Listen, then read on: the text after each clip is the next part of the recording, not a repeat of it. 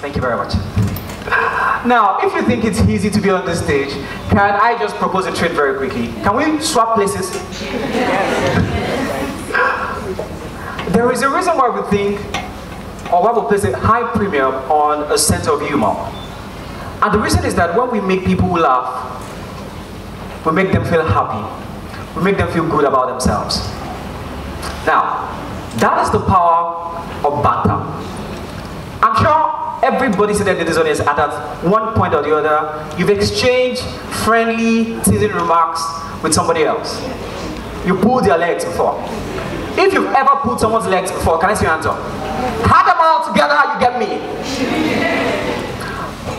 Today, I'm here to talk about banter. But I know that banter taken too far can have devastating consequences. In fact, a study carried out by Institute of Leadership and Management found that 4% of people quit their jobs because of negative banter. Can we go on? Now, let me tell you the story of Richard Branson. What we know about Richard Branson today is Richard Branson is a billionaire, very rich. But did you know when Richard Branson was in high school, he struggled with a learning disability now known as dyslexia. At the time, nobody knew about dyslexia. Even Richard Branson himself did not understand the condition at the time. And Richard was called names, what we call classical negative banter. He was called lazy by his teachers. It was called stupid by his friends. He was so devastated and demoralized that he quit school at 15. Now, Richard is not alone. There are so many Richards who have quit school because of negative banter. So I'm not here to endorse negative banter. I'm not here to endorse any form of banter that pulls people down or makes people feel inferior. I'm not endorsing that. But I'm here to ask a simple question. What if banter could change your life? What if banter could save your life? All right. now, this is when I was in university, but let's rewind the clock. I went to Obafemi Awolowo University. No, no, no, let's stay here. I went to Obafemi Awolowo University, and uh, I don't want to start a war. I know there are a lot of UI students here, so let's not start a war.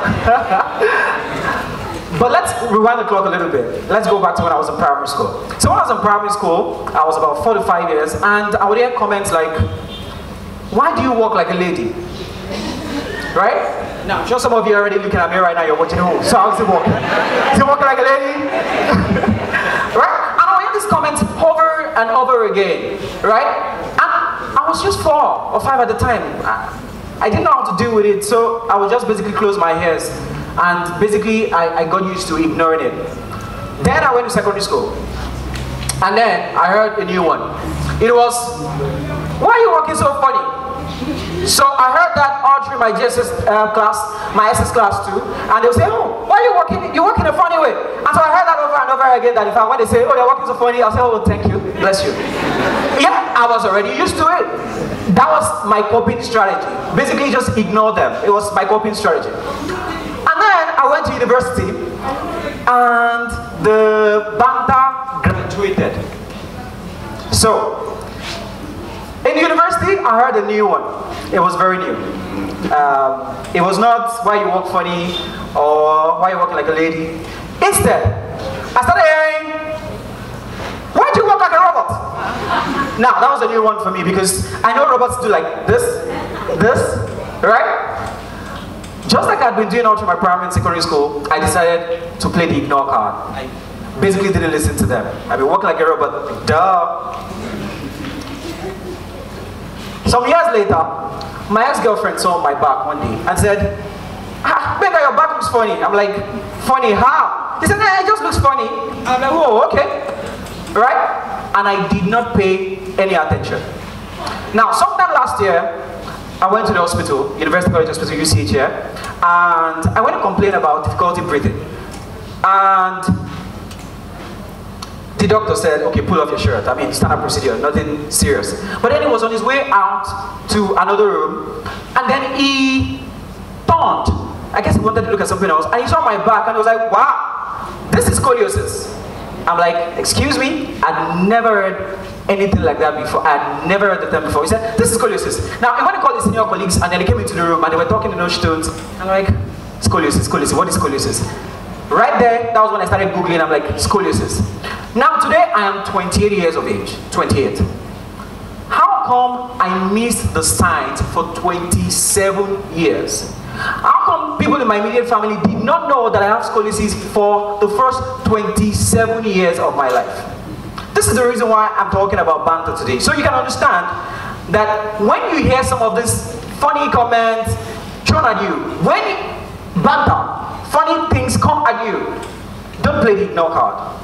Do not play the ignore card. Now I'm going to talk more about that in a bit. Let's move on. In order to understand why everybody needs the signs, including myself, I would like to talk to you a little bit about scoliosis. Now, the normal spine is straight. Now, I can see some of you already checking your back. the normal spine is straight, but with scoliosis, the spine is curved. Now, the curve is usually an S or a C. Scoliosis. Mine is more of an S, right? So this is how scoliosis looks like. This is how it looks like. Now, the reason why it's so difficult to catch scoliosis, let's move on, let's move on. The reason why it is so difficult to catch scoliosis is that sometimes the healthiest people you can find, the most celebrated people you can find, actually struggle with scoliosis. So, ladies and gentlemen, I introduce you to Usain Bolt. Now, Usain Bolt is arguably the best sprinter of his generation. Legendary. I mean, when you look at somebody like Usain Bolt, you know, you go like, wow, nothing can be wrong with this guy. I mean, you expect everything to just fall perfectly in line. But what if I told you that Usain Bolt was born with scoliosis? Now, just like a lot of people who suffer scoliosis, Usain Bolt, of course, encountered these banters, but he did not pay attention not until he was 18. 2004. That was when he was Bolt knew for the first time that he had scoliosis. And the reason why he was Bolt even discovered was because he was surrounded by trainers, he was surrounded by medical personnel, and he kept complaining about injuries. So that was why they were able to spot it. Now the question is this. What if Usain Bolt had not been involved in athletics? What if Usain Bolt was not surrounded by medical personnel? Would he have had a glittering career? Would he have been able to overcome scoliosis? Would he have become the greatest sprinter of his generation? Now, let's talk about scoliosis a little. The symptoms. Now, the reason why scoliosis is so stealth, stealth mode, is that you don't feel the symptoms. You don't begin to feel the symptoms unless it advances to an extent. So, when you begin to feel the symptoms, the symptoms that you feel are back pain, right? A lot of back pain, a lot of back pain, chest pain, difficulty breathing. And then who are the most vulnerable groups of people that have scoliosis? Kids ages 8 to 14. It is usually within this age, even though quite a number of people are born with scoliosis, but kids within this age are vulnerable. Also, girls are 8 times more likely to get scoliosis than boys. So, for instance, if you have a, a, younger one, or you're in a family, or you already have kids, females, you should check them. Also, a child whose parent or sibling has scoliosis, these are the people who are the most vulnerable to this. Let's move on. Now, detecting scoliosis can be as tricky as solving a jam question. And the reason is simple. In order for you to detect scoliosis, you have to do funny things. And when I say funny things, I'm not kidding. For instance, if you want to catch scoliosis, right, you need to watch when someone wears clothes, when someone is wearing a cloth. Sometimes there will be a slight gap. As you can see from the first diagram, there can be a slight gap between the ribs. This is why it is very difficult to catch you know, diseases like scoliosis. It's very difficult for you yourself to know because you are used to a particular pattern. Your life has been, you know, you just wake up, you wear the clothes. So sometimes it is people who are not in your immediate environment that will notice those funny things. And usually what happens is they throw a banter at you. They just say, oh, why is your cloth hanging? They cannot interpret what they're saying. The way they can interpret what they're saying is by trying to banter at you. Now, instead of you ignoring it, you have to pay attention. Another way to detect scoliosis, of course, is the shoulders. So if the shoulders are not even, right, and I know, of course, I can see all of you looking at my shoulders right now.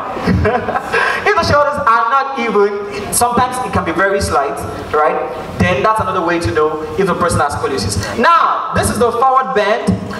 When you have a normal spine and you bend forward, it's straight. But someone that has scoliosis, you would notice, you know, the rib cage, there would be like a gap, something like that, as you can see from the diagram. Then, of course, the last one, which I want to talk about, is the gait, the walking style. If you pay attention to Usain Bolt, you would know that Usain Bolt has like a pimp when he's walking.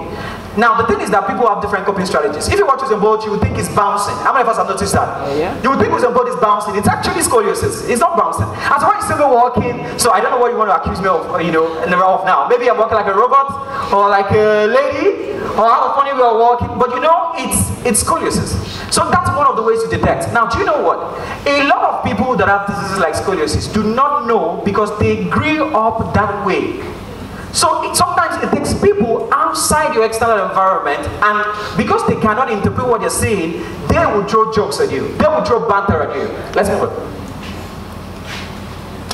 Now, scoliosis is just one out of a long list of diseases that can stay hidden for donkey years. You can imagine that I had scoliosis for 27 years and I did not know.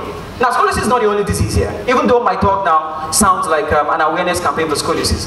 And it is, but it is much more than that. It is about we paying attention to the subtle signs, to the subtle banters, you know, that people throw at you. It is about paying attention. Now, for instance, some of us here have bad breath, but we don't know. Let me give you an example. So you open your mouth, and then suddenly everybody in the room begins to take their leave. You see, it is very difficult for people to walk up to a beautiful lady and say, Your mouth is smelling. Very difficult to walk up to a guy and say, Your mouth is smelling. But some of those subtle cues, sometimes I can even tell you, you know, uh, uh, your teeth to Alagbafo, right? Go and wash it. Sometimes it can be very hurtful, right? But do you know that if you have bad breath, which you know is called halitosis, it could be a sign of a bigger, bigger health issue. So if there's somebody like that, or you've been having such issues, I beg you, go see your dentist immediately. Now, what if, for instance, you go to the toilet to ease yourself, to pee every minute? What about that? And then people tell you, you know, maybe in the workplace or your friends, and they tell you, ah, ah, bros, you be water corporation. That is exactly how they'll tell you because they cannot see what is wrong. What they can see are the signs and the symptoms. You may not see it because you're already used to it that way. In fact, some of us will wake up like two, three times in the middle of the night, you know, to pee. And you think that nothing is wrong. But it is the people around you who would throw a banter at you. And then this could actually be a subtle clue also for another serious medical condition. Now, how about snoring? You see, some of us snore so loud that we can wake up a city. and you might ask yourself, what is the big deal? Is it not snoring? What if I told you that that snoring could be a sign of lung or throat cancer? In Africa, a lot of us don't go to the hospital except we're dying, except something is wrong, right? We do not go. But these are signs. There are signs all around you. People are trying to communicate with you. They may not communicate with you in a way that you like or in a way that you understand, but there are always signs. Now, how about your handwriting, for instance? Let me shock you. Do you know that if your handwriting, now I know some of you are already thinking, like my handwriting, right? no, don't worry, don't check the note of your partner. Don't check the note. Now, handwriting keeps reducing in size month by month, do you know that that could be a sign of Parkinson's? And these are serious conditions, but they do not happen immediately. Some of these diseases happen over years, sometimes decades. How about this? Cough. How many of you have had a nagging, persistent cough before? A lot of us, right?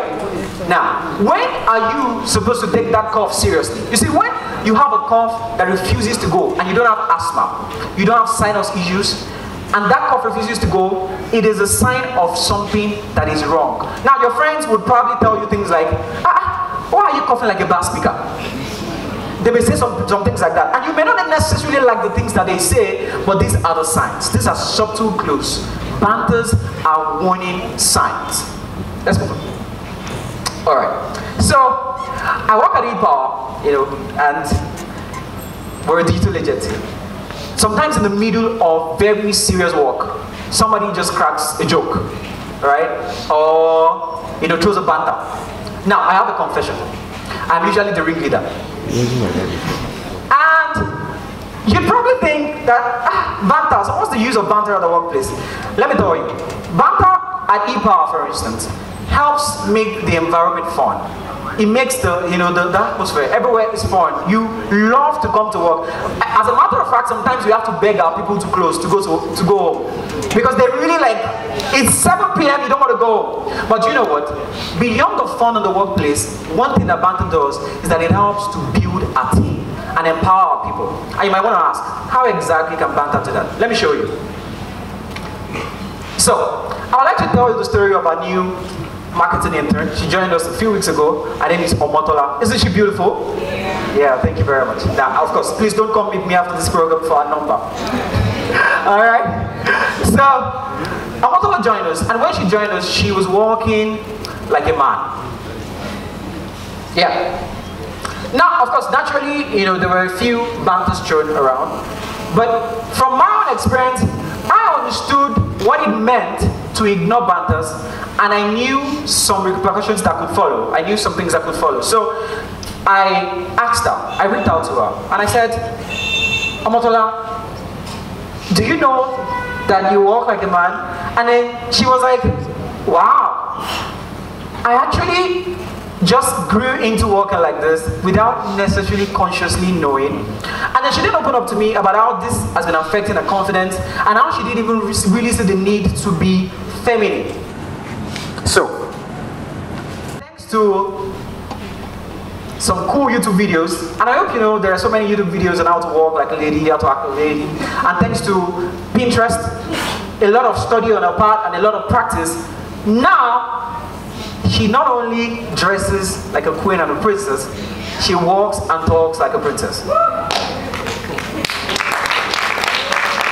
Thank you very much. Thank you. Let's move on. So let's go back to my story. Now, my friends in school, university, secondary school, culture, primary school, they saw something. I heard something, but I just didn't know what it was.